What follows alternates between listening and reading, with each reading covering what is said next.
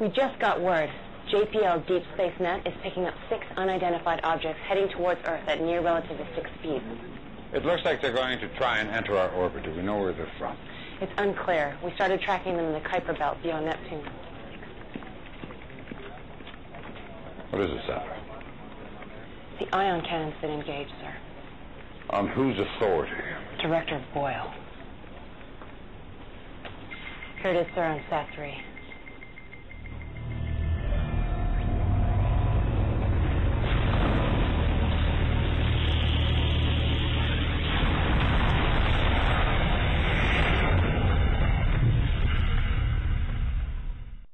Fifteen thirty-seven Eastern Standard Time. Thirty-nine alien spacecraft crashed into red zones on every continent. While the source and purpose of these aircraft remains unknown, there's no mystery about their intentions.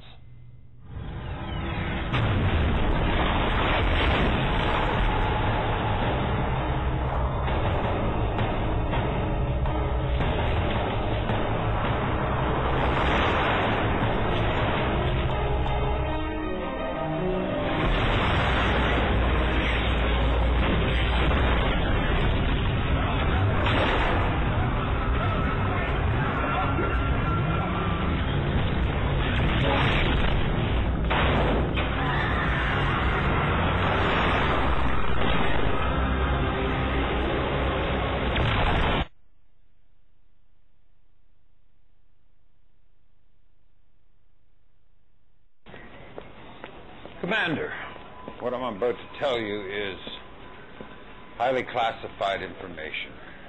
In 2028, GDI confiscated a very sophisticated data matrix from Nod. It's clearly not of this Earth. They call it the Tacitus. We've been decrypting it here at INOPS. And all we know for certain is that the data contained a warning about a future alien invasion. The connection between the liquid Tiberium explosion and this invasion seems, well, beyond coincidence. Whatever the connection, it's not just blue zones bearing the brunt.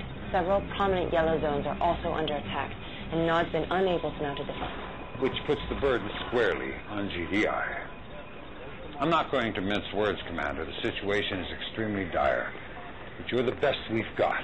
So I'm giving you the worst mission on the board. Germany. Kirce will show you what you're up against.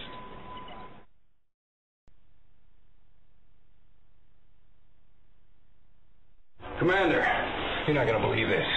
GDI just activated all their ion cannons in the southern hemisphere. I thought they were going to wipe us off the map in Australia.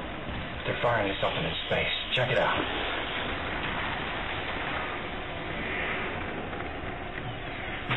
What the hell's going on? Holy crap! One of those things just landed right here. Sorry, brother, we're going to have to move this camera. Come on, break it down. Let's go, let's go!